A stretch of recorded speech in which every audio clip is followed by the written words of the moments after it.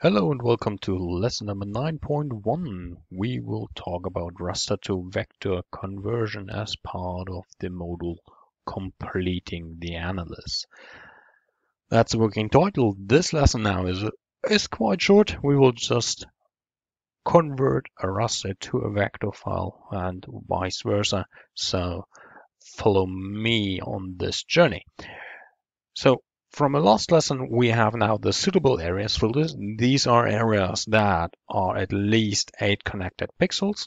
So they have a distinct size at least. And uh, either they are facing north and are not steeper than five degrees, or they are just flat. So the slope is below two, per, uh, two degrees. That said, we would like to visualize this now not as a raster file, but we would like to make it available for all the vector-based tooling we have exported in the last lessons, right? So therefore, there are some GDAL functions available. One is the raster conversion, where we will convert or polygonize this raster set, and vice versa, we will decide to create a, a raster file out of a vector file. So first of all, polygonize function works like that. We will create a, we will select our input layer. We will define, well, there's just one band, so we will use it. The name of the field to create will be um, not dn, but let's take it, take the name as suitable. We don't need to use eight connectors now because we have done this already in the, in the former step or in the step prior. So there are no additional commands. We will use it as an um, as a temporary layer, layer now. So just press on run. Take some time because there are a lot of polygons and always be careful if you would like to convert a raster file to a polygon file because just remember now we are sure that there are just two values 0 and 1 so if we decide to dissolve the functions the whole polygon layer will only have two polygons one for the class 0, one for the class 1. And um, so this is an easy to use data set, but also if we're looking, there are a lot of connected islands. So if I now select here one of those in the input output, this is one polygon. It has a lot of donuts and, and so on, but this is one polygon for, for the moment. You can see that there are that there are issues with the data, right? So first of all, Let's have a look here on the, on the border edge. These values are zero. That was a problem in the last set. You remember this, where we filtered values to be below zero to or below and equal zero to zero. That's the result now.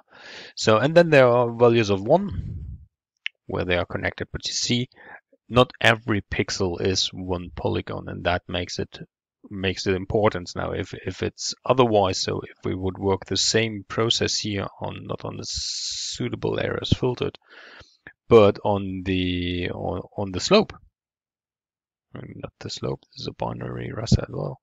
On the aspect here, yeah, this would make a total different different uh, will will be a total different result, and there will be a lot of polygons at least each pixel will be most likely one polygon.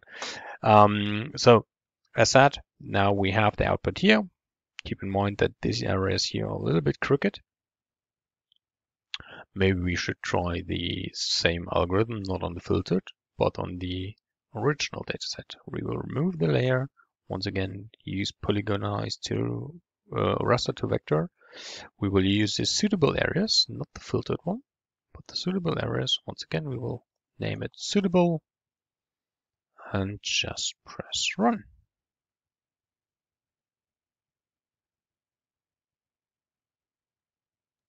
Let's close this again. Now we can see there's a border here and let's let's query this result, right?